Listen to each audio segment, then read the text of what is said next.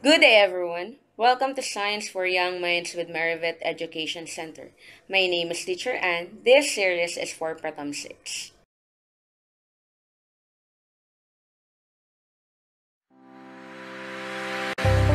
Today we're going to study about tsunami. We're going to learn what is tsunami, the causes, how it was formed, effects, and lastly, the safety precautions before, during, and after tsunamis. But before we start, let's read the vocabularies in this episode. Please repeat after me. Tsunami.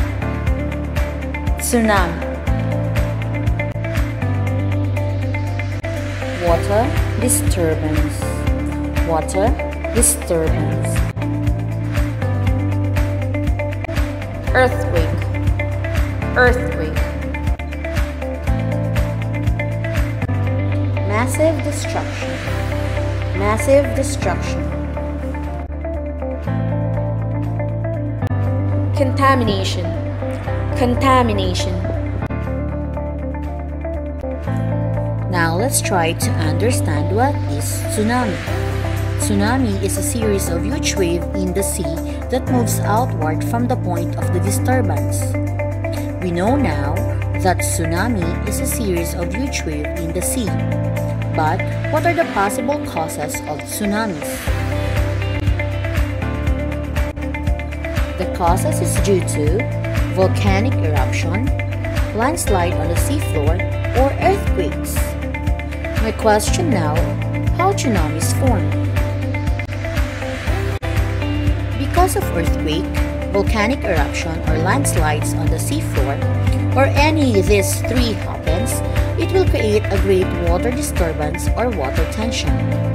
That tension will push the seawater upward, but because the gravity tries to pull it down, that will cause an upsurge.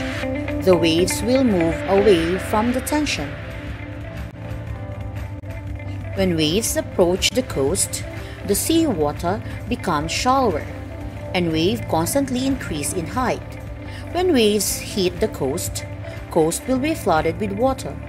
Water can travel to some distance into the land and causes a massive destruction. Let's learn what are the effects of tsunamis. Because of tsunamis, it can damage the buildings. It can ruin environment on the shore. It can also damage the plants like uprooted and wash them away. It can also cause water and food contamination. We can also have the spread of infectious disease like cholera. Lastly, it will also affect in our economic income because of ruined tourist destinations, buildings, and facilities. Since we already know the causes, how it was formed, the possible effects of tsunami, one of the important things that we also need to know are the safety precautions before, during, and after tsunami. Here are the safety precautions before tsunami. We have to prepare a survival kit, make up an emergency plan, learn and practice evacuation plans, learn the signs of a tsunami such as earthquakes near coastal areas, water receding from coast, sudden rise of waves with a loud roaring sound like a train or plane. Here are the safety precautions during tsunami. If there is an earthquake, protect yourself from the earthquake first. Immediately evacuate to higher ground. Stay away from beaches, river, and low-lying areas. Return to affected areas only when the authorities announce it is safe to do so. If you are in the water, hold on to a thing that floats like a tree trunk. If you are in a boat, move toward the sea.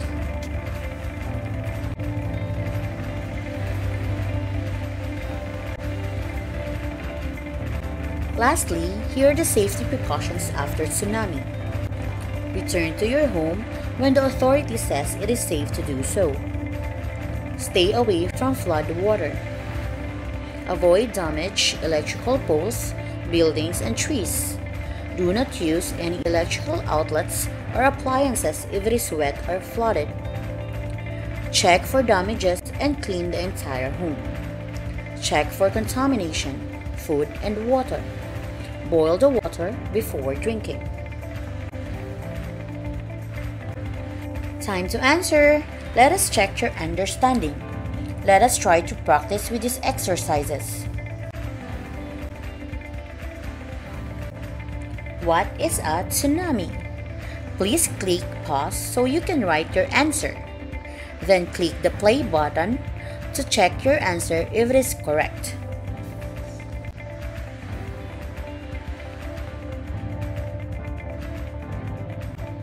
Give the three signs of tsunami. Please click pause so you can write your answer. Then click the play button to check your answer if it is correct.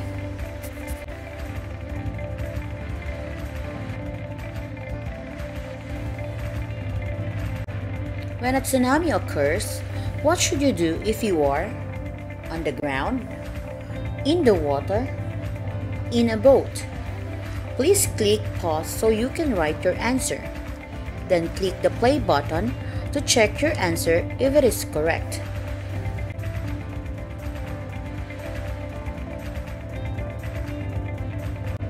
What will happen to the plants at the coast after a tsunami?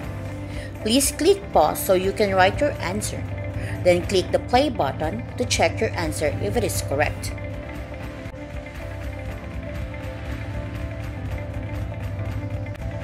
How do tsunamis affect the country's economy?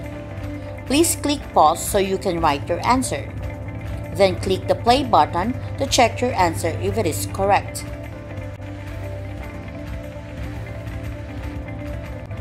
Awesome! Are your answers correct? Perfect!